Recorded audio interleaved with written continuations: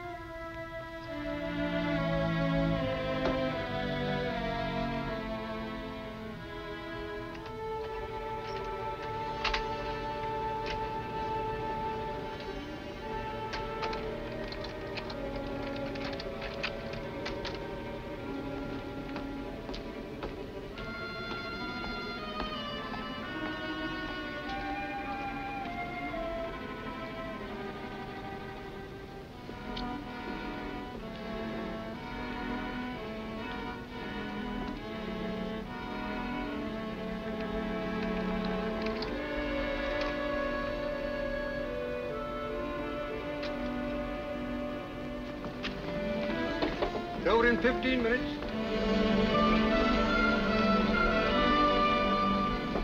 Over in 15 minutes. Over in 15 minutes.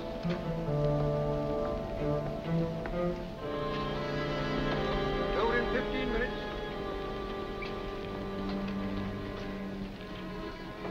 Over in 15 minutes.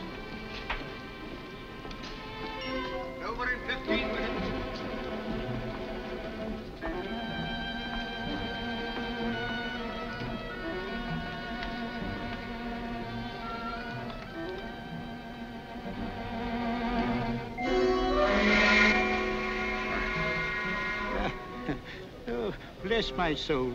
I must have dropped off right in the midst of our most interesting conversation. My dear young lady, what must you think of me? Oh, please. I knew you were tired, so I kept very quiet. I wouldn't have awakened you for the world.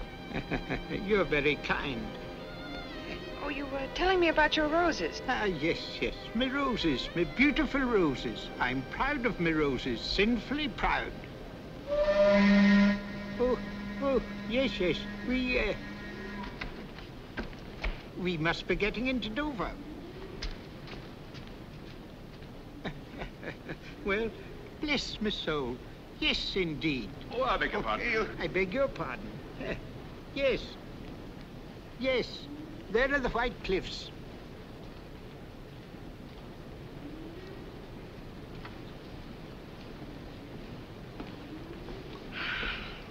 You know, I've been dreading this moment. Why now? Well, you see, I have some exposed film in my camera, and they might make me open it. The customs, I mean. I should so hate to lose my little pictures. Oh, dear, that's too bad. I wonder, it would be a great favor. Would you mind taking care of it for me? Till we get through the customs, I mean. Well, I, I don't quite know. Uh, uh, Uh. If you'll just say it's yours, uh, being a clergyman, you're not subject to such rigid inspection. all right. Just a harmless little deception, eh? all right, my dear, all right.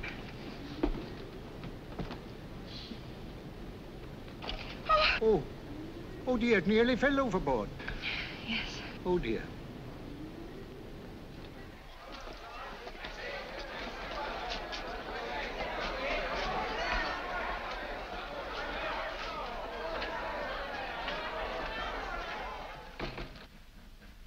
For the Royal Museum? Right.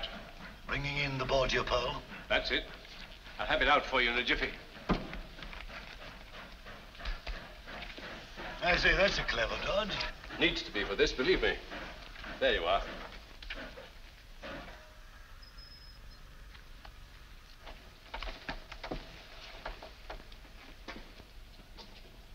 That message, sent to me on the boat. It was a hoax to get me out of my stateroom.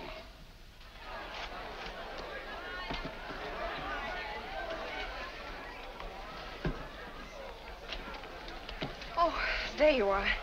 I was afraid that... My dear, they, they didn't even question me. Oh, how can I ever thank Don't try. Just send me one of your photographs, will you? I'll be happy to. Goodbye. Goodbye.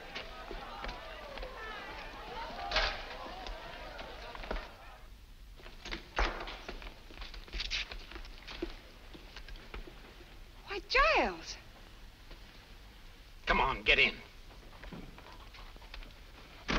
How many times must I caution you, my sweet, not to speak until doors are shut? I'm sorry. I didn't expect you to meet me.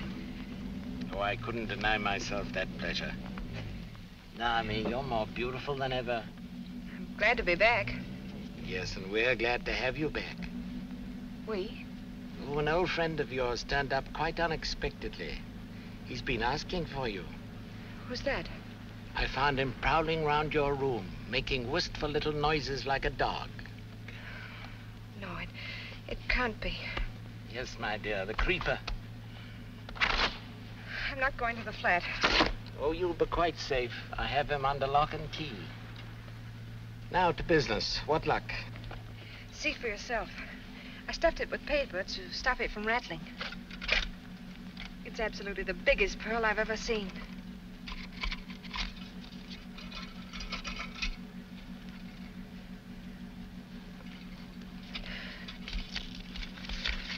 Don't understand.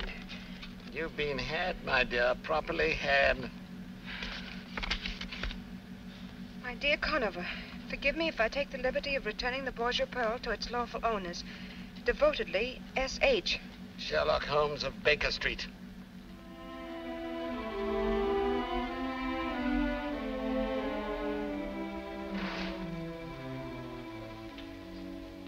Well, you won't tell me what you've been doing. One thing at a time, old boy. Let me get off this makeup. Oh, oh I'm as stiff as a varnished eel. It still doesn't answer my question. What have you been up to? A little bit of hijacking, old boy. Reach into the inside pocket of that coat that you're about to throw aside. What do you find there? Pocketbook? Open it. Take out what you see. Your fingers have now closed on a matter of 50,000 pounds. What? Can't be real. Real as death, old fellow. The blood of 20 men upon it, down through the centuries. Where'd you get it? From a charming young lady, Naomi Drake. Elias Yvette Joux, alias Lisa Vanini. Never heard of her. No, nor of Giles Conover either, I fancy. Oh, I can't say that I have. That's the incredible thing about it, Watson. This man pervades Europe like a plague. Yet no one has heard of him. That's what puts him on the pinnacle in the records of crime. What's he do? Everything and nothing. In his whole diabolical career, the police have never been able to pin anything on him. And yet, show me crime without motive, robbery without a clue, murder without a trace, and I'll show you Giles Conover. That's amazing, Holmes. Two years ago, he disappeared from his usual haunts. And I've every reason to believe that he... Well, here it is. I've every reason to believe that he's back in England again.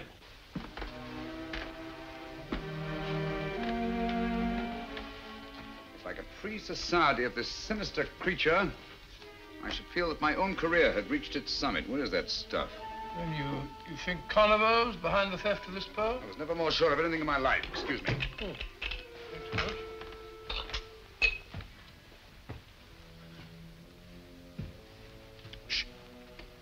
Listen.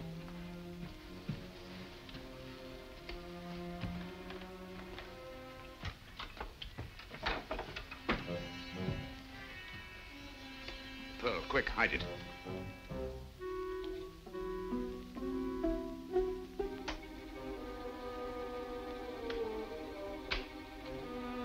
Turn out that light.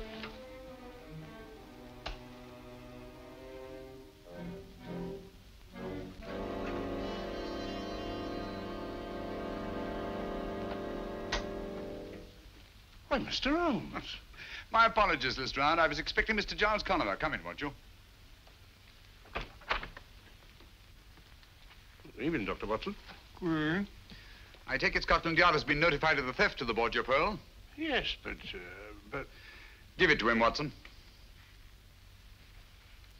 What? Well, I never. That's a fine way to treat the Borgia pearl. I assure you, Lestrade, I shall not feel safe until this pearl is in the deepest vault of the Royal Regent Museum.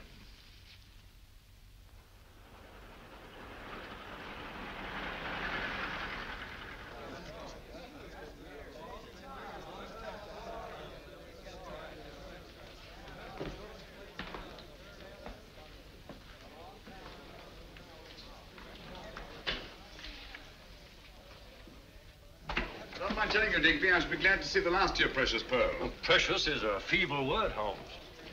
Look at its flawless skin, it, its matchless symmetry. It's a miracle of beauty. Miracle of horror. Steady on now. Isn't that a bit strong? Is it? Hmm. Think of its blood-stained history. Think of all the misery it's brought to the poor wretches who laid greedy hands on it. Alexander Borgia died twisted and black with poison. Carlos of Spain became a driveling madman. A disastrous jewel, Digby. The world would be much better off if it were sunk in the ocean from which it came. Oh, really, Mr. Holmes, we'd hardly treat a national treasure in such a cavalier fashion. If you'd kindly open the case, Inspector. Uh, certainly, sir.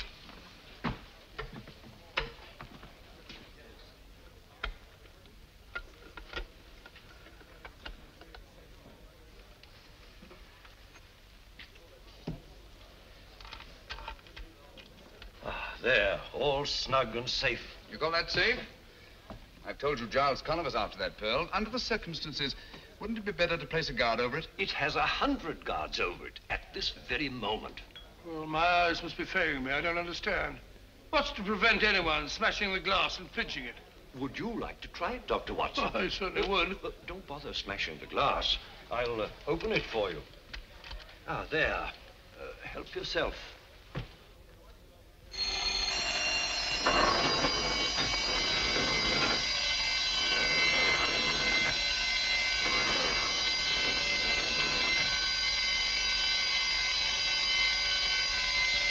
Mr. Digby. Don't be alarmed, Bates. Merely a demonstration. May I have the pearl, Doctor? What, again?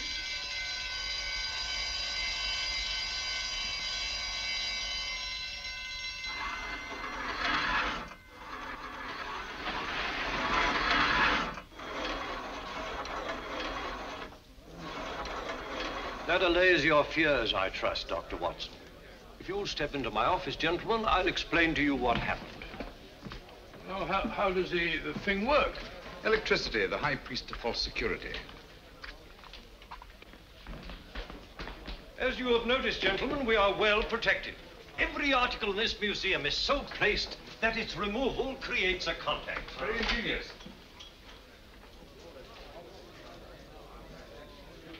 Uh, tell me, Digby, uh, just where in the building is the control of this uh, ingenious electrical safety device? The wires are in this room. Uh, uh, naturally, they're not exposed. Oh, well, naturally. Well, Watson, I think our usefulness here is ended. Goodbye, Digby. Goodbye, Mr. Holmes. It's been most interesting. Thank you very much. Goodbye, Mr. Digby. Goodbye, Doctor. Uh, oh, good day, Inspector. Good day, sir. Oh, I'm so sorry. Oh, well, accidents will happen. Mum,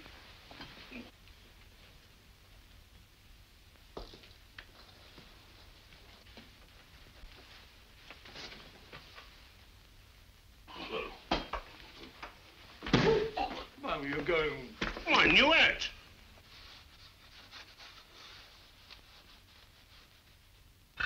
My apologies, Digby. Oh, no harm done, I assure you. On the contrary, I'm afraid the greatest harm has been done. I beg your pardon? Are all the objects of art in this room uh, connected with your protective system? Well, most of them. But why? This uh, Hogarth etching, for instance. Is it connected? Most certainly. It's a priceless original. Uh, take it down, will you, Watson? Not me. Once bitten, twice shy. Oh, Tosh, I'm not afraid of guards and gongs.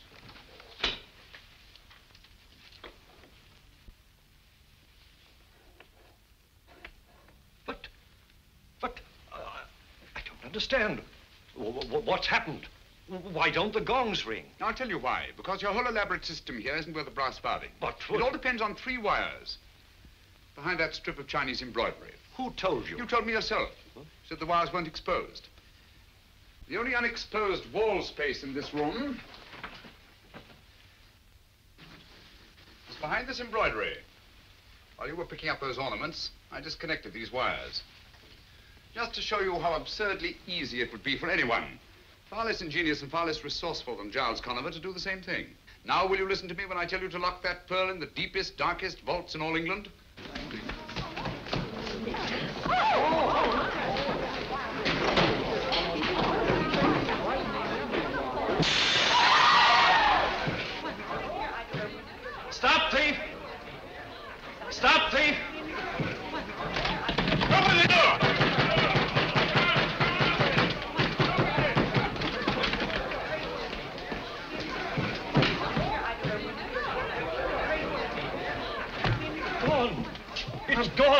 Workman took it, sir. Bates is after him. I don't understand. The gongs never rang and the shutters never closed. No, the wires were disconnected. Thanks to Mr. Sherlock Holmes. A grateful nation owes you a memorial, Mr. Holmes. You demonstrated your cleverness. Oh, most brilliantly. You did put your foot in it, and no mistake, Mr. Holmes. Nonsense. How was he to know that anyone... How? Oh, elementary, my dear Watson. By his deductive reasoning, of course. Oh, shut up, Lestrade. Deductive reason. Giving away the Borgia pearl like a pound of tea. 50,000 pounds. Not tea. What's this? The man who wanted to be caught, Mr. Giles Conover. How are you, Mr. Holmes? But I don't understand. This is one of our workmen. He's been employed here for weeks. He came highly recommended. Yes, I've no doubt of it. Every employee of this museum is scrupulously investigated. My investigated. dear Digby, Mr. Conover is a man of infinite resource and precaution. Oh, thank you, Mr. Holmes. It's just a bare chance that his accomplice, Miss Naomi Drake, might not get away with that pearl on the boat from Ostend to Dover. Pearl? What pearl? Who are you getting at? Did you search him, Bates? Yes, Inspector, but there's not a thing on him. He, he might have swallowed it. No, he hasn't got it. Or he would never have allowed Bates to catch him. While he was running away, did he stop? Did he meet anybody? Why, yes, sir. As he went around the corner, he bumped into a woman. Did you get a good look at her? No, sir. Not good enough. Ah, that's where you lost your pearl. That woman was an accomplice. Same girl that was on the boat, eh? Possibly. In any event, may I suggest, Lestrade, that you hold Mr. Conover? Oh, come now, Mr. Holmes. Haven't you made enough mistakes for one day? There's no crime, you know, in taking a job in a museum. There's no crime in running when you're being chased. Just what am I being held for? Uh, window breaking? Thank you, Mr. Conover. Take him away, officer. How long can you hold him? Well, you heard what he said. Strictly speaking, we can't. One day? Two? Well, make it two. Good. Good, what's good about it? We don't want him, we want the pearl. That's just what I'm getting at, Watson. One of two things has happened. Either the woman he bumped into was an accomplice, in which case she has the pearl, or he managed somehow to conceal it in his flight. If he had to stick that pearl in some makeshift hiding place, he'll never rest until his Confederates have it safely in their hands. He'll try to send them a message. We ought to give him every opportunity. But how? Uh, may I suggest, Lestrade, that uh, he's permitted to uh, have his food sent in from the outside? Huh? Oh.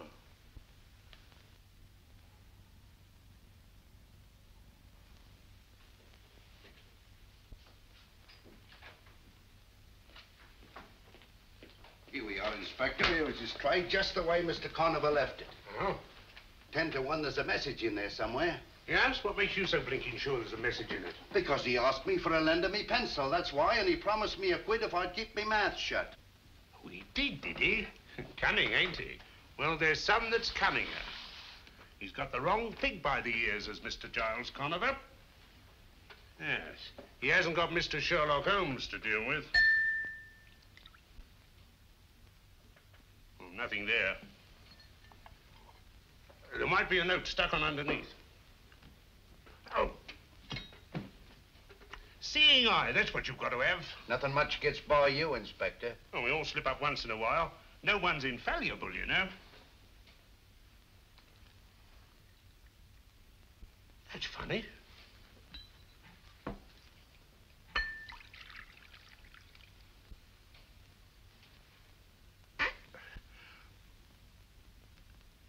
Mr. Giles Conover. Here, hang on to this. What is it? Your suit, see?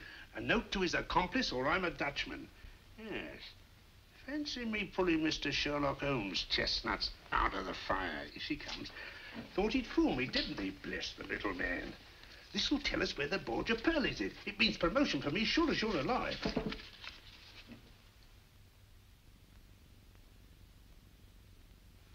What did it say? What do you care what it says? He didn't say where the Borgia Pearl was it, Inspector. Just you clear up this truck. That's all you've got to do, and see gets back to the restaurant. Very good, Inspector.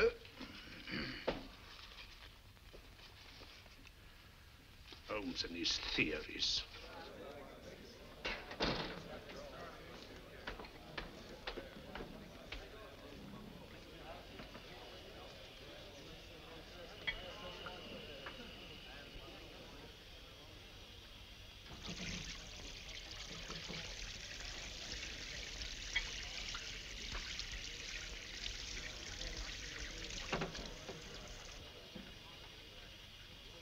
Natty, my girl, get a move on, will you? What are you staring at that plate for? Oh, I ain't a staring at it. I'm washing it. See? Well, I ain't paying you to go to sleep on your feet, you know. Go on, you old bag of grease. Wash your own dirty dishes. See? Here, you can't do that there, here. Lovely weather, ain't it?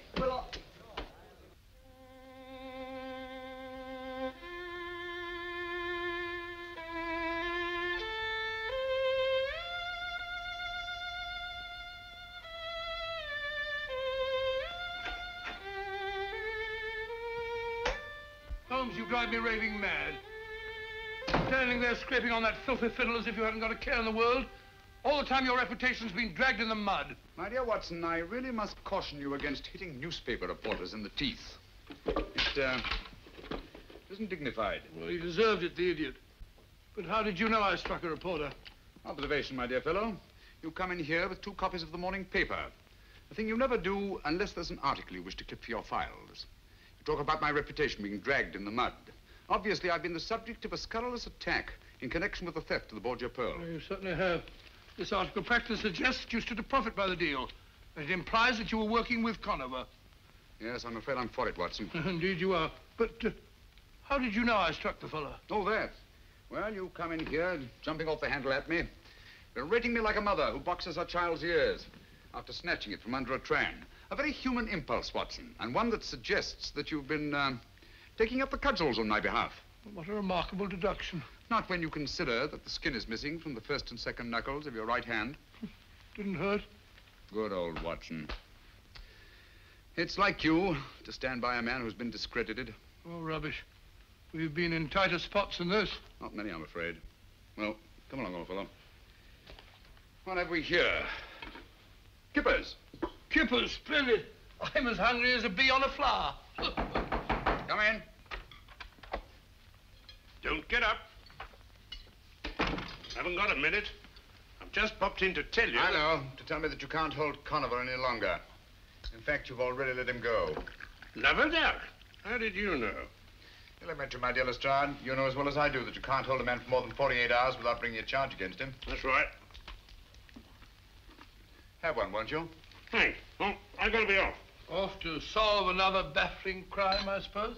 Oh, you might call it that, Doctor, but to me it's just another routine murder. Oh? Who is it? A bloke named Harker, military man. Harker.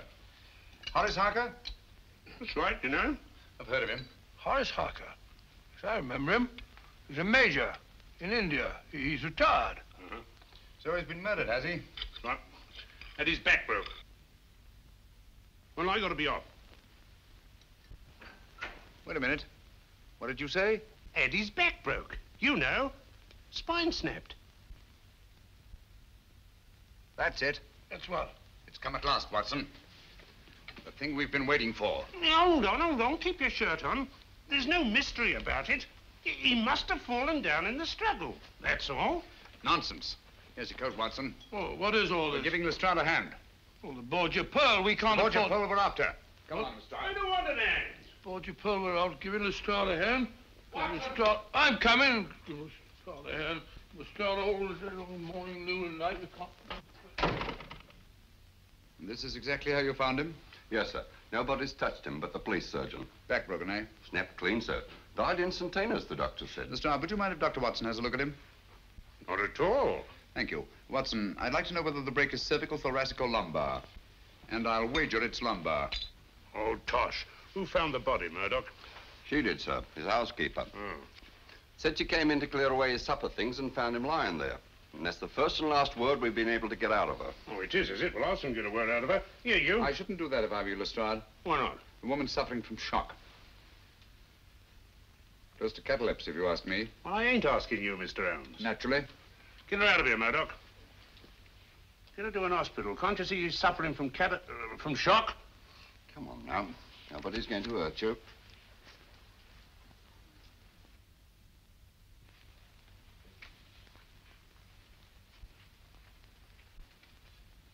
Hmm. Major Harker seems to have thought very highly of Napoleon. He's rather overdone it.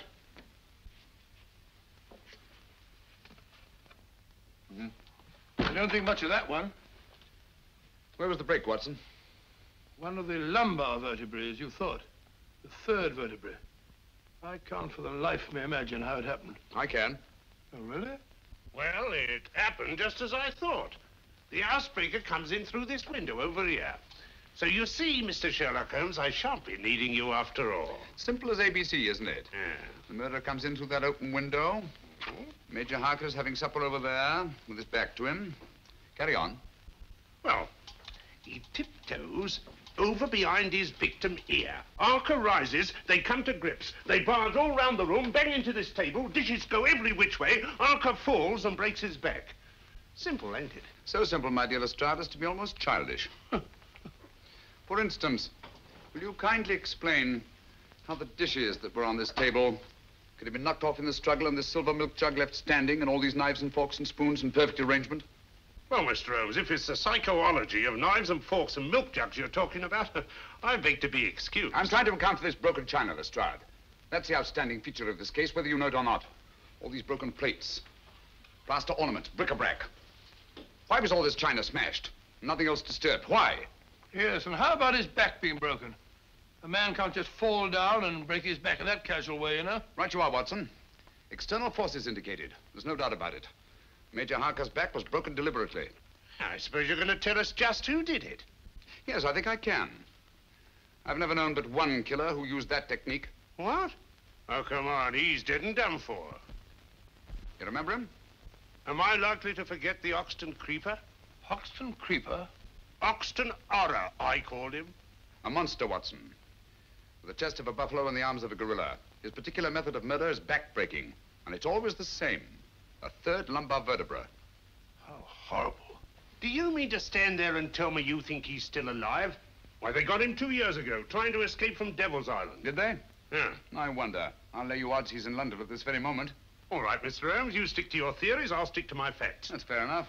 Do me a favor, will you? Anything your little art desires. This broken china. Have it all swept up carefully and sent to me at Baker Street, will you? All right, but what do you want it for anyway? Oh, uh, just a souvenir. Come along, Watson. I think our usefulness here is ended. Mind you sweep it all up, Mr. Hunt.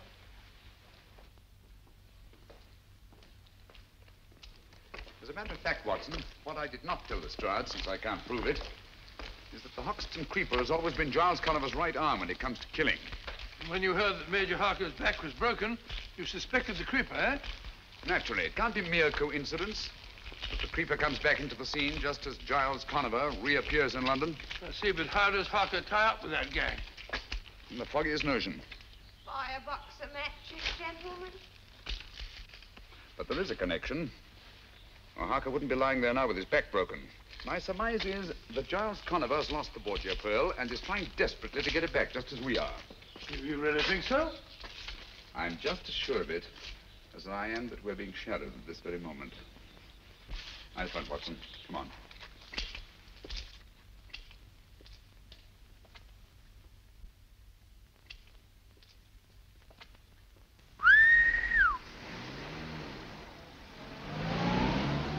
Listen. Have you got your revolver? Yes? Now get it ready. It! No, thank you. Come on, Watson.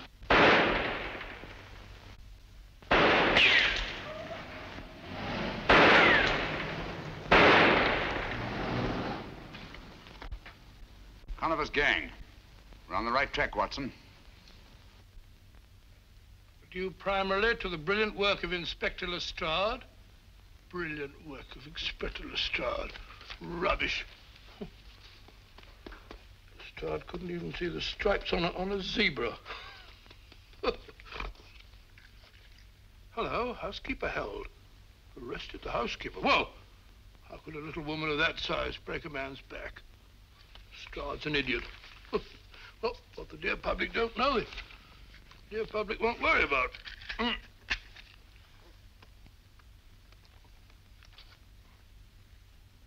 It's funny. Had it here a moment ago. Only thing. Oh, see. Only thing. Listed it.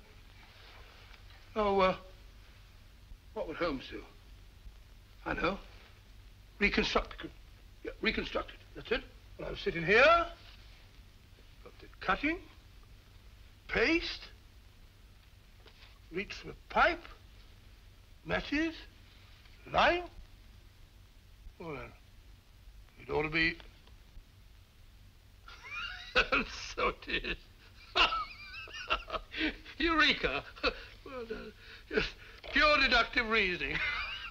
when I was telling Holmes about that, he, he couldn't have done better himself. The first door on the right, sir.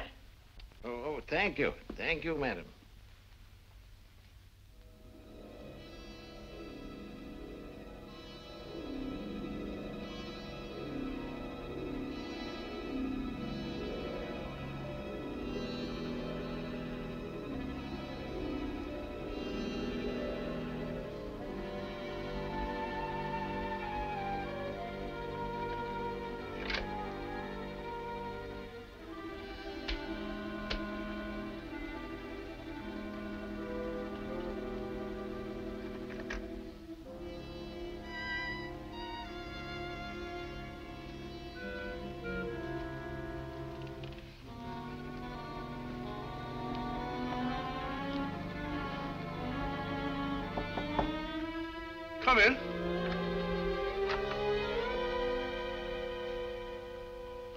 Dr. Watson, I believe.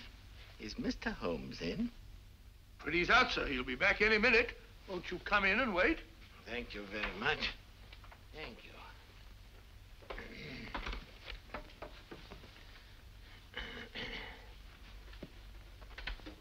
Sit down, sir. Thank you. Have a cigarette. Uh, no, thank you, no. Uh, the doctor won't allow me to smoke cigarettes.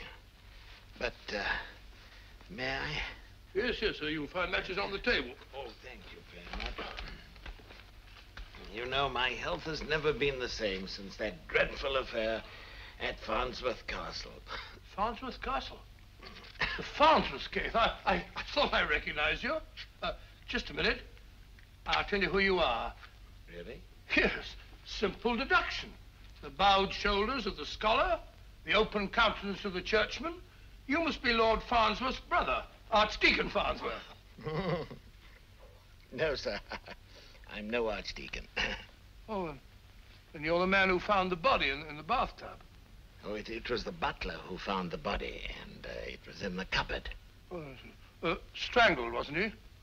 No, no shot. Oh, shot, yes, of course, shot, yes. Uh, Lord Farnsworth's uncle, wasn't it? I am Lord Farnsworth's uncle. Oh, of course, my mistake. You're Lord Farnsworth's uncle. Uh, uh, and your, your name is, um... Theophilus Kirby, Lord Farnsworth's uncle and biographer. of course, I, I remember you well. I, uh, Holmes will be very glad to see you. He, he may be a bit late. Uh, by the way, as he isn't here, if there's, uh, if there's anything that I can do, same, same training as Holmes, pure deductive reasoning. For example, uh, I can see that, uh, that you're in trouble. On the contrary, sir, I've never been happier. Oh, my mistake. I've never been happier. I've been looking for some little token of gratitude which I could give to Mr. Holmes. And at last, I think I've found something that he'll appreciate. It's Dr. Johnson's great dictionary, an early folio. Early folio? Dr. Johnson's dictionary? Sure that he'd be very excited about that. It's very kind of you. Uh, I'm a bit of a, a book collector myself. Oh, no, please, please. I, I, I've inscribed a little dedication. It may be a little flowery, perhaps, but, well, it's straight from my heart to his, I hope. And uh, it's just a little private. Oh, yes, of course, a little private. And you want him to be the first to read it? Uh, that, that is so. You're very understanding, sir. Thank you very much. Now, I'm afraid I must go. I'm sorry I... Don't you worry about the book, sir. I give you my word that Sherlock Holmes will be the first person to, to open it. Oh, that makes me very happy, sir. Very happy. Uh, goodbye, Goodbye, sir. Doctor. I'm sorry you can't stay.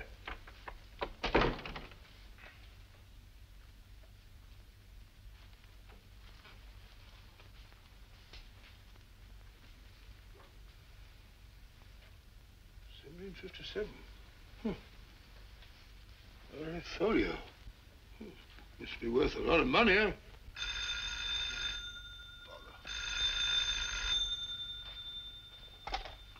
Huh?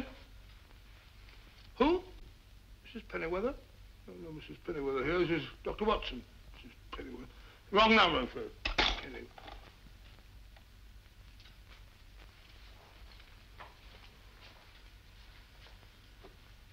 I don't think Holmes would mind if I, I just. Uh... Oh, oh, oh, come in, come in. Oh, hello, Miss Hudson. I brought you tea. And when Mr. Holmes comes in, see that he eats a bite like a good soul. Certainly, my dear. I'll be glad to. I have a hard time getting him to eat. Oh, good afternoon, Mrs. Hudson. Oh, I just brought you tea. Thank you. And be sure you drink it. I will. Hello, Watson. Well, too bad you're late. Old chap was here to see you. Oh? Sorry to have missed you. What old chap? Theophilus Kirby. Hmm. Lord Farnsworth's uncle. You remember the Farnsworth case? Yes, indeed I do. And I remember Theophilus Kirby, too. Quite a scholar. And like most scholars, poor as church mouse. What's he want?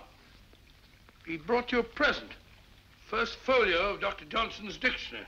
Book must be worth a lot of money. He, he's written an inscription in it, bless his heart. Out of, out of gratitude. That's very nice of him. Like to have a look at it? Have a cup of tea? Oh, thanks, old boy. Put it down there. Gratitude is a rare quality in these days. Let's see what he wrote. Watson, have you been smoking a cigar? No, the old boy smoked one. Kirby wasn't a smoking man as I remember him.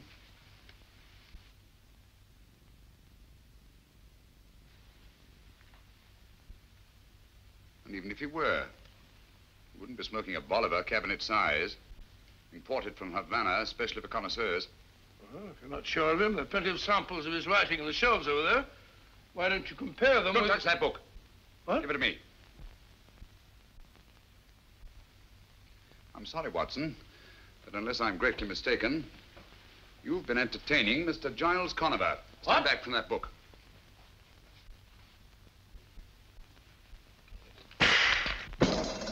Great Scott! He meant that for you. Oh, that's very gratifying.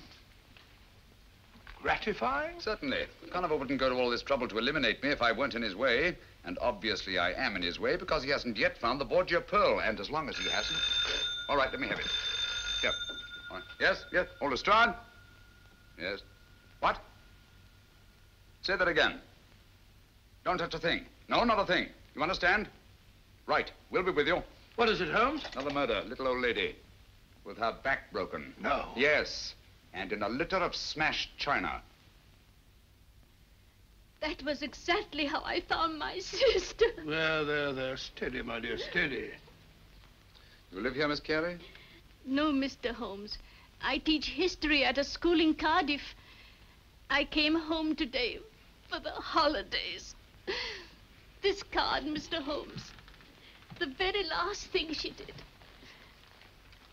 For my dear Ellen, to inspire her and her pupils with love. A gift for you. What was it, Miss Carey? I don't know. I'll never know now. I found it on the desk over there. She was writing it when. Oh, why do you stand there? Why don't you find the beast who committed this dreadful crime? Uh, look here, Miss Carey. There's just one question. There'll I- be quite enough questions. You come along with me, my dear. What you need is a sedative. I'll telephone for a nurse. There, there, my dear. You'll be quite all right. We...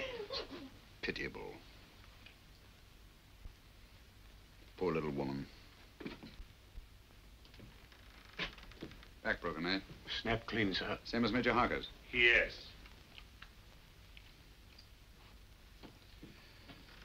Once more, we find the body in a litter of smashed china. What do you make of that?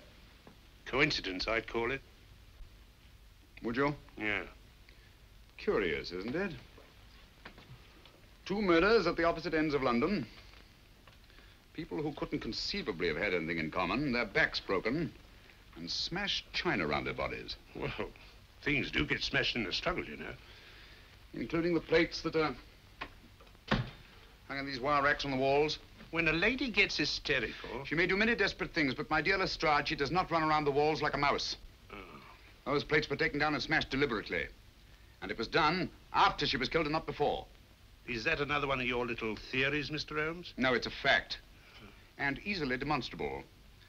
If you lift up that body, I think you'll find there's not a vestige of broken china underneath. Well, just to prove you're wrong. Here, lend a hand here, Bleeker. Right, sir. Easy does it. Further, eh?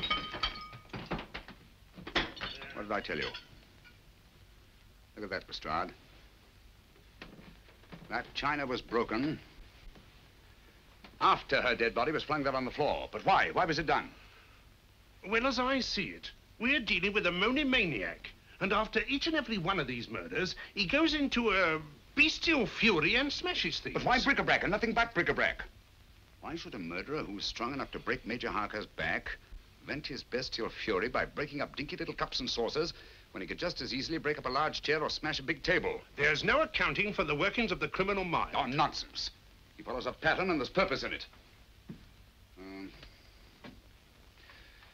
would you have those broken fragments collected and sent to me at Baker Street, please? Oh, what's the use? You won't find any fingerprints in them. Perhaps not. But broken china is the one thing these murders have in common. We've got to get to the heart of this mystery, and quickly, too. Don't you realize there's a monster at large in the city bent on destruction? We don't know why, we don't know where. But somewhere, at any moment,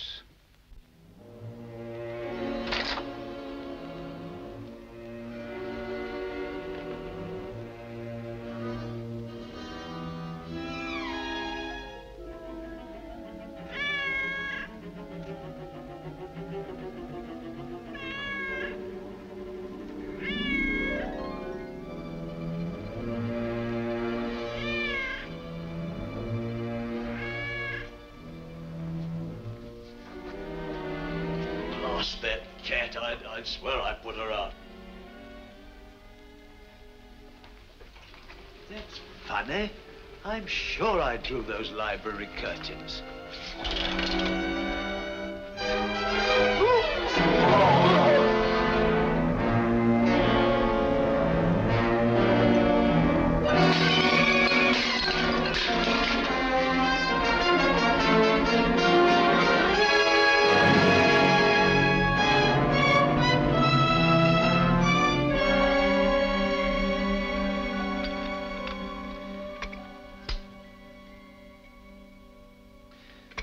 Afraid I must disagree with the newspapers, Watson. The Hoxton Creeper, to the best of my knowledge, is not a madman, or if he is, then there's method in his madness. And that method, I'm convinced, is supplied by Giles Conover. You think all this broken china is just a blind to make it look like the work of a madman? On the contrary, my dear fellow, this smashed china shows purpose, it shows motive. And purpose and motive are the last things a sane man would wish to imply if he were posing as a madman. Why smash the china? The killer didn't choose to smash the china, he had to smash it. Oh? Had to? What for? Oh, possibly to cover up something else that was smashed. Some object. Identical in all three cases. The clue that we're looking for. Why mess about with the plaster? You'll far more chance of finding the clue you're looking for in the china because there is much more china. There's too much china, Watson, and too little plaster. Which, uh, leads me to suspect that the greater conceals the less, and that the china was smashed to cover up the plaster. Curious notion. Oh, look. Bird. Matter of fact, I had thought of it myself. Oh, did you really? Then it was very tactful of you not to mention it. Here, what do you make of this? Cocked hat? Uh, soldier, eh? No doubt of it. Part of a bust. Military hat. Late 18th century, I should think. That's funny. Here we are in the second house. Here's a, a shoulder with a bit of a chest and, and a medal on it. Looks as if it might have come from the same bust. Mm-hmm. Identical. Same plaster, same proportion, same military subject. And this piece comes from the house of the second murder, while these pieces came from the house of the first. We're getting warmer, Watson. Wait a minute, wait a minute. I got something over here. Here we are. Look, here's a nose. There's a mouth and a bit of a chin from, from the third house. Put them under this hat. The little corporal himself. Right, Watson. Napoleon. A single statue made up of fragments from three different houses. Identical busts in each house, huh? Yes. Put the pieces down here. I told you this China was smashed to cover up something else. Well, why smash Napoleon? Think, Watson, think. Something was hidden in one of those busts. Something that Conover is looking for. You don't mean that... Precisely.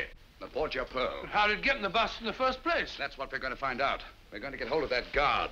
The one that chased Conover down the street the day he stole the Borgia Pearl. Get your hat. I'll get a taxi. I'll get a taxi. Borgia Pearl, Napoleon bust. Well, I was driving about London looking at broken glass. Borgia Pearl. Here we are, sir. This is where I nabbed him. He's baiting it along here like a frightened rabbit when I come up from behind and make the pinch. That isn't true. Would strike me dead if it ain't, sir. Isn't it true that he went in there? Well, he was trying, he was at... Oh, out with it, man. Did he or didn't he? Well, as a matter of fact, he did duck in there. But I made the pinch right on this very spot, like I said. Can you tell us exactly what happened? Why, yes, sir. He runs in here full lick and up to this door. Was the door open? Just like it is, sir. But when I got here from the head of the stairs, the door is bolted. So I starts to climb in this here window. Was the window open too? No, sir, I had to force it. When suddenly the door opens, out he nips, and I made the pinch right on that very spot like I told you. How long was Conover out of your sight? I should say less than a minute, Mr. Holmes. That's why I didn't want to mention it before. I didn't think it was important. Important? Great heavens, man. Come on. Oh, I beg your pardon. Gentlemen, this is not my sales room. This is my workshop. What can I... Oh, it is you, is it? Catching more thieves today? Ah, no, I was explaining here to, to Mr. Holmes and Dr. Watson. Uh, thank you, Bates. That will be all. Thank you, sir. Good day, Bates. Good day, sir. Mr. Gilder, our time is short, and believe me when I tell you that lives are at stake. Lives? Please answer my questions as briefly as possible. Last Tuesday, at 10 minutes past 12, where were the workmen who are usually employed in this room? It was a dinner hour. They were out. On this table over here? You had some busts of Napoleon standing to dry, did you not? Yes, I did, but how did you know? Never mind that now. How many were there? Six. Just like these busts of Beethoven. Six busts of Napoleon Bonaparte. Hmm. Six. Are you sure? No more, no less? Yes, I'm positive. Watson, look sharp, will you? Go to that door to the alley and do exactly as I tell you. Huh? No, not her. Just do it. Leave your stick. Think I am an alley cat? Go outside and close the door. Stand over there, will you? Me? Yes, please. Ready, Watson? Ready, Holmes? All right. Come in quickly. Close the door. Hold it. Turn round. Take two steps forward. Stop. Wait a moment. Look round you. Now look over here. Wait a minute. Now run over here. Pause a moment. Look at these wet plaster busts. Look back to the door. Take a coin out of your pocket. Come on, hurry, man, hurry. Now stick your finger in one of these wet plaster busts. Go on, go on, do it, do it.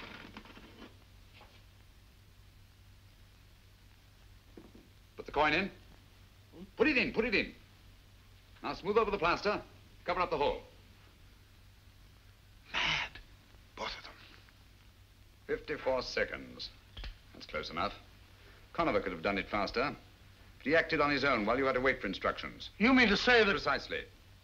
Conover stuck that Borgia pearl in one of those six wet plaster busts of Napoleon. What? Gilder.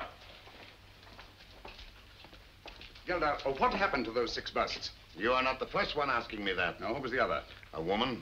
When? Was it Wednesday? The day after the thief was taken? Yes, it was. Naomi Drake, Watson. Naomi Drake? What did you tell her? The same as I'm telling you. They were delivered, all six of them. Yes, yes, but to whom? To Amos Hodder's art shop on Kensington Road. Amos Hodder.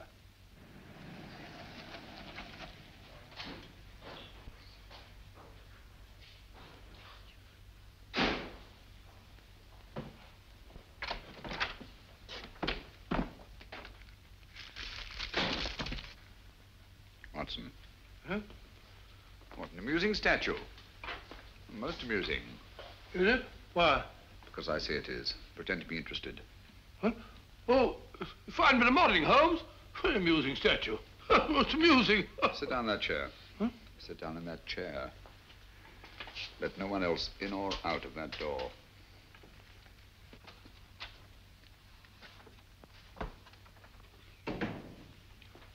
Attend to the gentleman, Miss Bittinger. Yes, Mr. Hodder.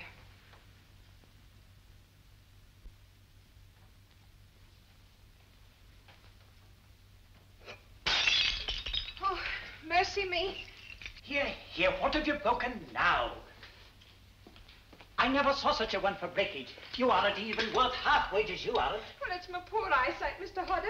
I can't help my eyes now, can I? What have you broken this time? One of the Copenhagen vases, eh? Well, that makes four.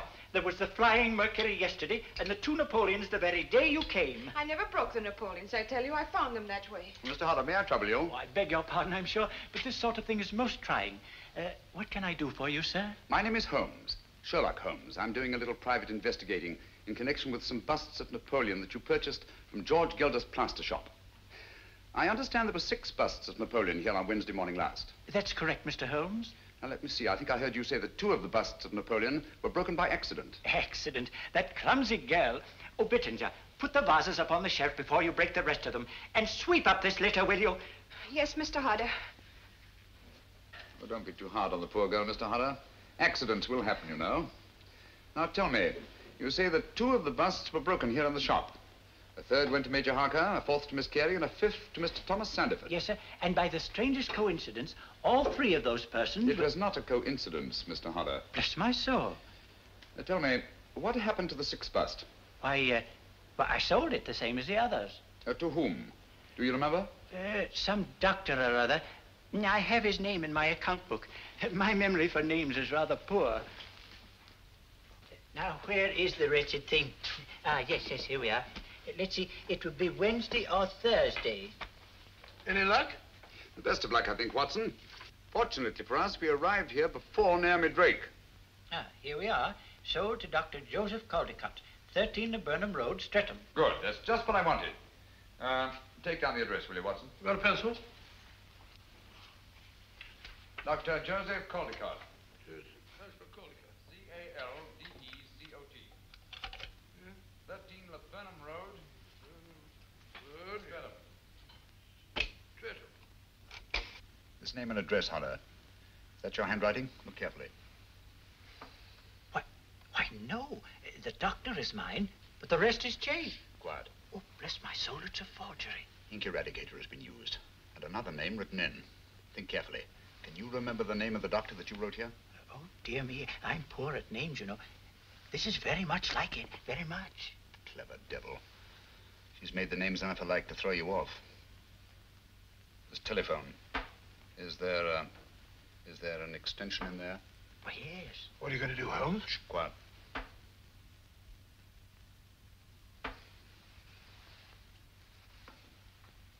You were right, Giles. It worked. Like a charm.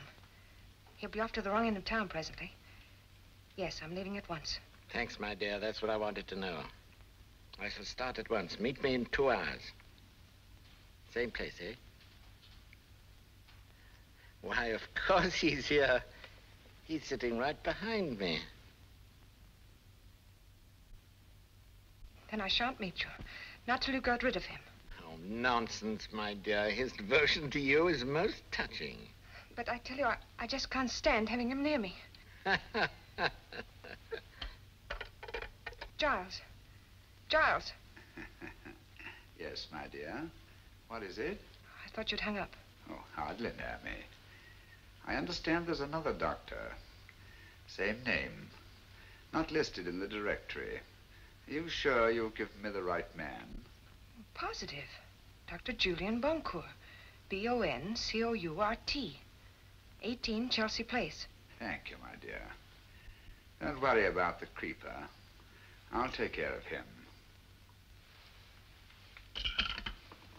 Watson, telephone Dr. Julian Boncourt, B-O-N-C-O-U-R-T. Tell him to take the bust of Napoleon that he bought here and go to the nearest police station.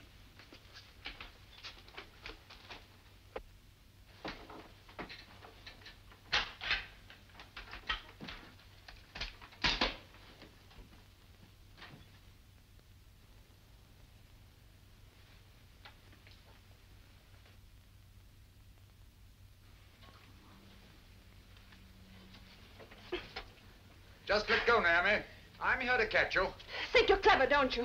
You can't hold me. Come on, come on down. What charges are against me? Uh, peddling matches without a license. Constable, put the cuffs on her. She's an accomplice in three murders, possibly four. Leave me alone. You can't do this to me. No one there. I can hear it ringing.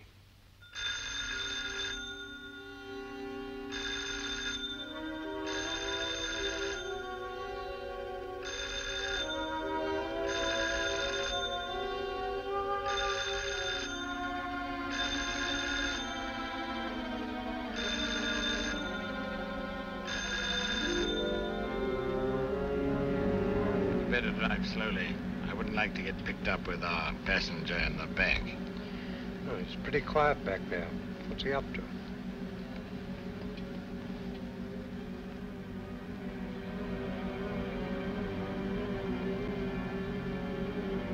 He's got Naomi's vanity case.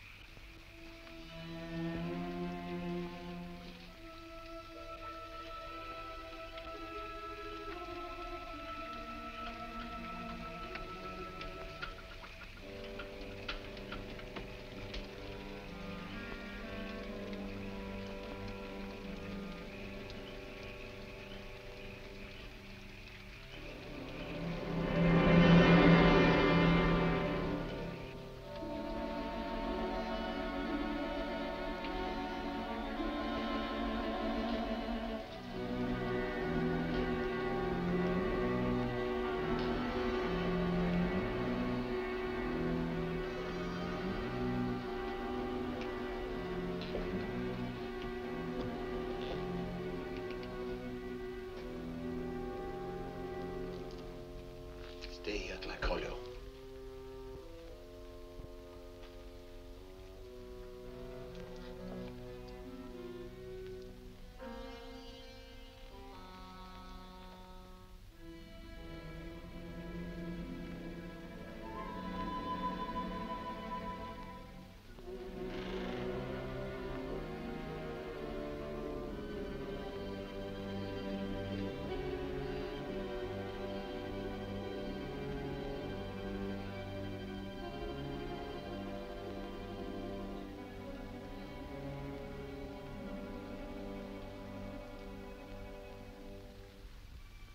Dr. Boncourt. Yes, yes. What you want? Don't you see I'm busy? I shan't keep you very long. I've only come to ask. How did you get in here? Who are you? I'm also a very busy man.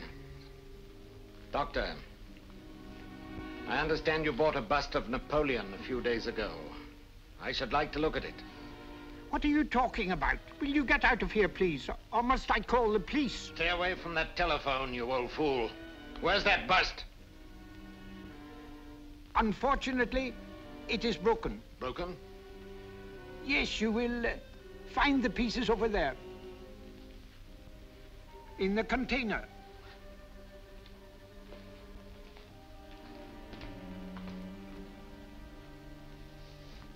But you won't find the Borgia Pearl there, my dear Conover. Drop that gun.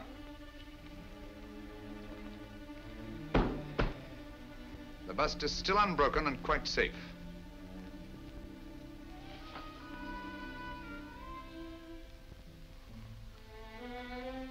Still full of your little surprises, Mr. Holmes. Back up against that wall. I don't like your work, Conover. I've seen quite a bit of it, both here in London and elsewhere on the continent. Don't like the smell of you either. That underground smell, the sick sweetness of decay. You haven't robbed and killed merely for gain like any ordinary halfway decent thug. No, you're in love with cruelty for its own sake. And the world will be much better off without you. It will give me great pleasure to... Ah. Don't move. Hold your hands up. That's it. You know, I'd never have thought of disconnecting those wires if it hadn't been for your excellent example at the Royal Regent Museum. It has been said that imitation is the sincerest form of flattery. Oh, yes, I'm willing to learn from an old master hand. Come now, where's that bust? Dr. Boncourt took it with him to the police station. Oh, that's a very feeble lie. You'd hardly have let it out of your hands. You'd have been afraid Dr. Boncourt would have met us coming in. Us? Yes, you know whom I mean. Creeper! Creeper!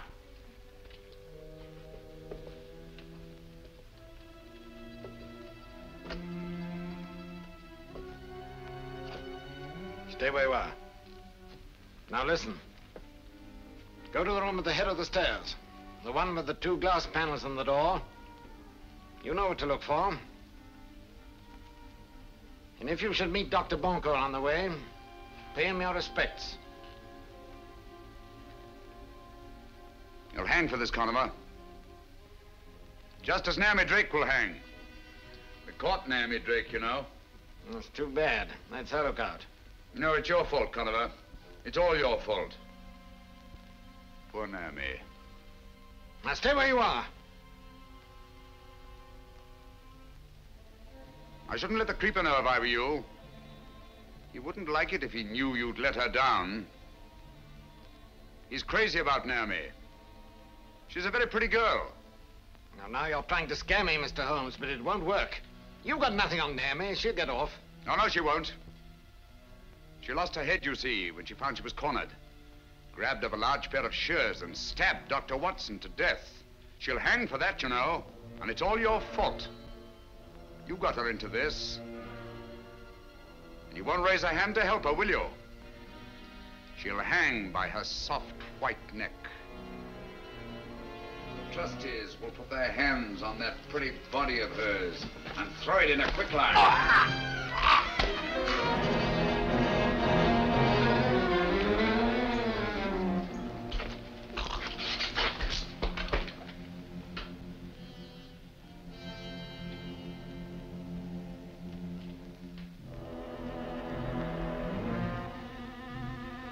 Stay back.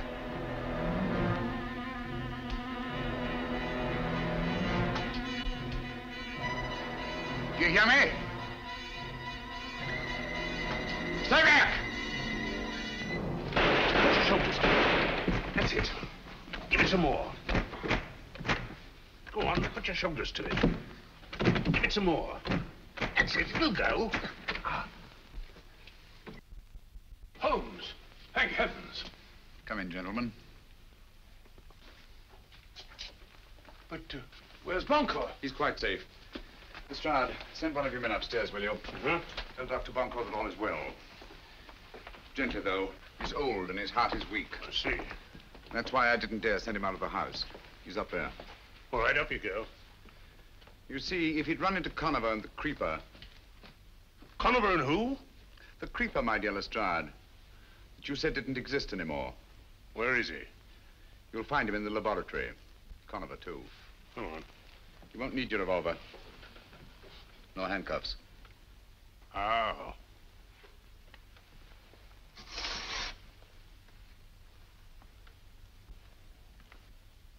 You got them?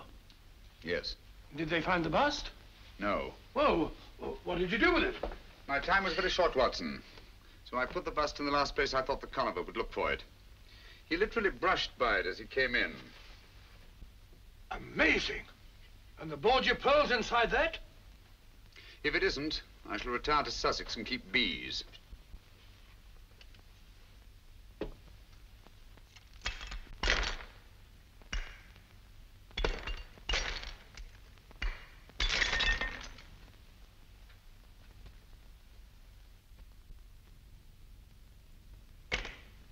Look, there it is. By Jove. Borgia pearl. The blood of five more victims on it. Well, anyhow, Conover was one of them. What's Conover? No more than a symbol of the greed and cruelty and lust for power that have set men at each other's throats down through the centuries.